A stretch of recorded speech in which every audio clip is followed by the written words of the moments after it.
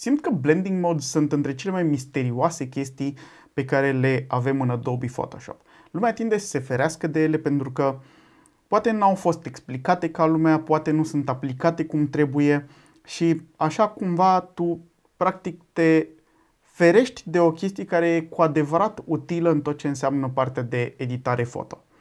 Aș vrea acum să încercăm să înțelegem blending modes și să vedem cum funcționează ele generic, dar cum funcționează și targetat, fie că vorbim de layere sau de brush-uri. Bun. Primul lucru, avem 27 de blending moduri și sunt grupate oarecum logic. Și am găsit că ar fi cel mai ușor să creăm niște gradienți ca să înțelegem exact cum funcționează fiecare familie. Nu să le luăm pe fiecare în parte, pentru că în realitate, pentru ce ține de Photoshop, pe partea de fotografie, noi să folosim 6-7 blending moduri constant. Nu o să le folosim pe toate pentru că nu ne sunt utile. Însă e foarte important să înțelegem logica din spate pentru că există situații în care ne sunt, bineînțeles, utile. Hai să vedem. Avem o fotografie de lucru și ce am creat aici sunt două leere. Un gradient standard de la negru la alb și un gradient colorat. Și aș vrea să discutăm pe rând despre fiecare tip de gradient combinat cu o parte de blending moduri. Puteți vedea, primul lucru, în momentul în care nu avem niciun layer selectat, nu există blending mode, nu există opacity. De ce? Pentru că nu are pe ce să se aplice. Odată selectat un layer, putem să vedem că le avem pe amândouă active. Și tradițional lumea ce face? Folosește opacity pentru a modifica intensitatea efectului creat de un layer. Fie că vorbim de un layer de gradient tradițional ca acum, fie că vorbim de, nu știu, curves, unde e la fel. Îmi place efectul, dar aș vrea să fie mai discret și tradițional acest opacity tinde să fie cel mai des folosit. Însă, blending modurile îți dau un nivel în plus de libertate și de abilitate de a targeta exact zonele care te interesează. Sunt, cum ziceam, împărțite pe grupuri. Primul grup este Darken. În general, primul blending mode dă tonul. Avem Darken. Ce se întâmplă când am folosit Darken? Putem să vedem că avem un efect doar în condițiile în care layerul meu, care este un gradient, poate să întunece. Deci pixelii de pe gradient sunt mai închiși decât pixelii existenți în imagine. Multiply, Color Burn, Linear Burn sau Darken Color. Toate au ca scop să întunece. Dacă ne uităm cu atenție, în partea unde avem alb sau gri deschis, nu se întâmplă nimic. Dacă încercăm să ascundem sau să facem vizibil layerul nostru, putem să vedem că aici, în dreapta, nu avem efect. De ce? Pentru că pixelii sunt mult mai luminați și astfel nu cad sub incidența vreunui sistem de darken. Mai departe avem familia de lighten, care, ați ghicit, face exact opusul.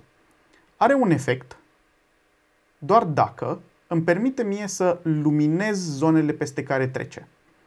Și avem variante diferite de lighten, screen, color dodge, linear dodge sau lighten color. E interesant să lucrați cu ele ca să vă prindeți care pe unde își face treaba și ce tip de efect aveți nevoie, pentru că nu există unul care să fie corect pentru tot, ci mai degrabă depinde foarte mult de ce urmează să țintiți voi ca și rezultat. Revenim un pic la normal, ca să nu uităm de unde am plecat și vedem gradientul așa.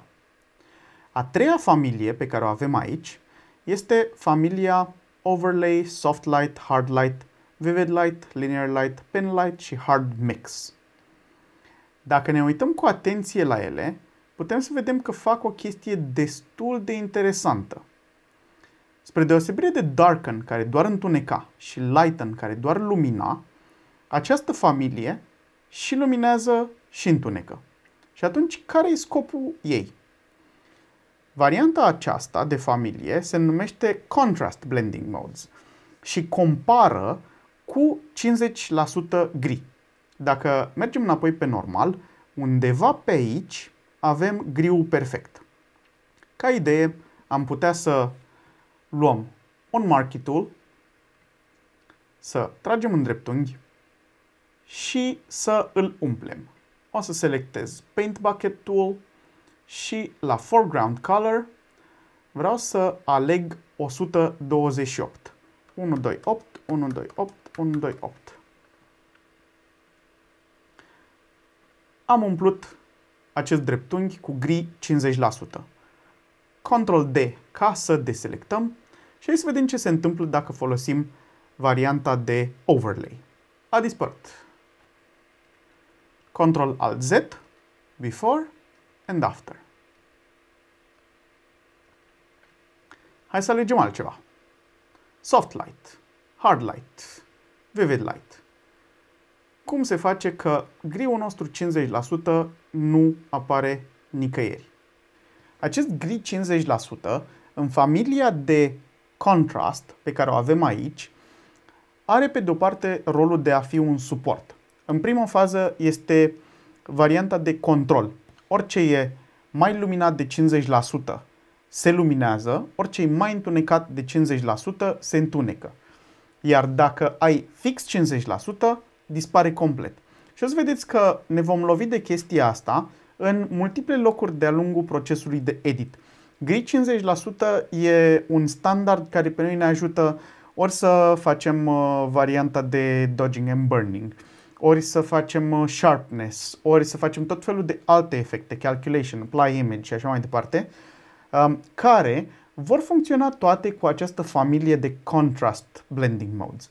Pentru că toate au abilitatea de a scoate griul ăla.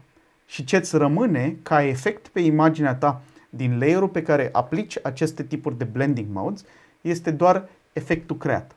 Fie că vorba de sharpness sau de absolut orice altceva, dodging, burning și tot așa. Recomand să îl folosiți și o să revenim asupra lui în prima fază când vorbim despre variantele de dodging and burning pe care le avem disponibile în workflow-ul nostru obișnuit. Mai departe, avem grupul de difference. Difference, după cum puteți vedea, arată diferențele între layerul pe care ne aflăm noi și layerul de dedesubt. Și hai să facem un exercițiu interesant.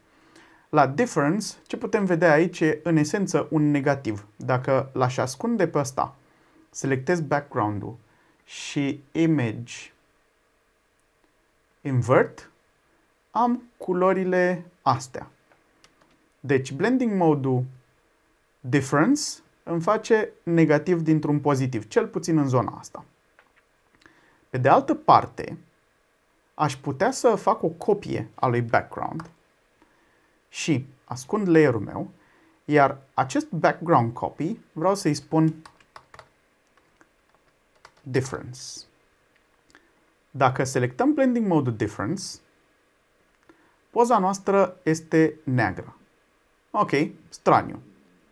Dar ce facem dacă luăm, de exemplu, Move Tool și încercăm să mutăm imaginea? Încep să apară diferențele. De ce? Pentru că noi avem practic pixel peste pixel, însă dacă ne mutăm un pixel la dreapta, sau 2, sau 3, sau tot așa, putem să vedem că în realitate noi am mișcat fotografia de sus. Revenim la blending mode normal și before and after, before and after, layer de jos, layer de sus. Iar acest blending mode difference fix asta face. Mă ajută pe mine să văd diferența dintre două layere. Difference e un uh, layer foarte interesant dacă am nevoie să aliniez elemente. Mai ales dacă am, de exemplu, uh, un layer cu o poză și un layer cu aceeași poză, dar unde, să zic, am intervenit uh, și am mișcat-o din greșeală, lucru care se poate întâmpla. Merg pe Blending Mode Difference și mă uit cam cum aș putea să o aliniez astfel încât pozele mele să fie fix una peste cealaltă. Și pot să lucrez cu Move Tool sau pur și simplu pot să lucrez cu săgețile de pe tastatură. Și în momentul în care am făcut asta, eu mă asigur că pozele mele sunt aliniate. Blending Mode Normal și nu mai există nicio diferență, nici la nivel de pixeli. sunt aliniate absolut perfect. E un truc interesant de pus în practică, vi-l recomand.